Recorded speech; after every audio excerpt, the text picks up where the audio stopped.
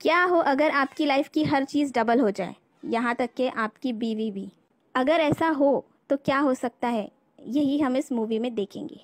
Movie शुरू होती है और हमें एक कुत्ता दिखाया जाता है, जो एक गड्ढे के पास कुछ सूंघ रहा होता है। तभी उस कुत्ते पर बिजली गिरती है और बिजली की आवाज़ सुनकर एक कपल घर से बाहर आ जाता है और अपने कुत्ते जैक्सन को ढूँढने लगता है। उतने में उन्हें छत पर एक कुत्ते की आवाज़ आती है और वो दोनों ऊपर देखते हैं तो चौंक जाते हैं।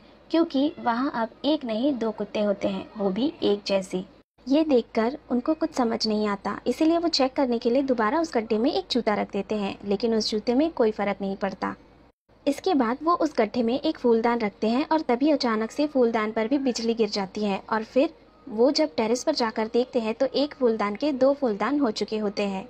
अब वो लोग समझ जाते हैं कि उस गड्ढे में बिजली गिरती है और चीज़ें दुगनी हो जाती हैं। अब अगले दिन जब पति उठता है तो वो देखता है कि पत्नी ने सारी खाने की चीज़ें दुगनी कर रखी है तो वो उसे समझाता है कि हो सकता है ये चीज़ें खाने लायक ना हो। या जहरीली भी हो सकती है, क्योंकि ये नेचुरल तरीके से नहीं बनी हुई हैं, पर पत्नी उसकी कोई भी बात नहीं मानती और वो उन चीज़ों को खाने लगती है और उसे बताती है कि ऐसा कुछ नहीं है, ये सब सेफ़ है और इस पर उन दोनों में बहस हो जाती है।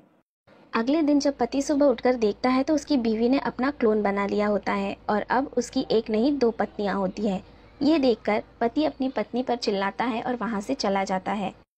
एक दिन पत्नी खाना बना रही होती है तो उसे बाथरूम से आवाज़ें आती हैं और जब वो वहाँ जाकर देखती है तो वो उसके पति और क्लोन को बाथरूम में रोमांस करते हुए देख लेती है। ये देखकर पत्नी उस पर बहुत गुस्सा होती है और उसे कहती है कि ये तुम क्या कर रहे हो? ये सब हम दोनों करते थे। ये कहकर वो नाराज़ होकर वहाँ से चली जाती है। पति उसे समझाता है कि ये तुम्हारी ही तरह है और ये तुम ही हो तो उसकी पत्नी उसे कहती है, वो मैं नहीं हूँ। ये कहकर दोनों रोमांस करने लग जाते हैं।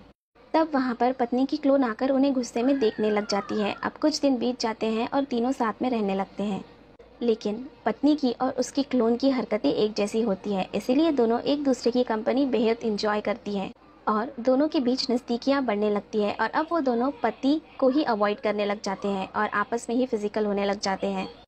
ये सब उसके पति को बहुत खटक रहा था, इसीलिए वो सारी डबल की हुई चीज़ों को फेंकने लगता है। ये देखकर क्लोन को बहुत गुस्सा आता है और उसे लगता है कि ये मुझे भी बाकी चीज़ों की तरह नष्ट ना कर दे। इसीलिए अगले दिन जब पति फ़ैन क्लीन कर रहा होता है तो वो क्लोन उसे जान से मार देती है। और उसकी डेड बॉडी को एक कबड में छुपा देती है और ये सब उसकी रियल पत्नी भी देख रही होती है और यही ये मूवी ख़त्म हो जाती है।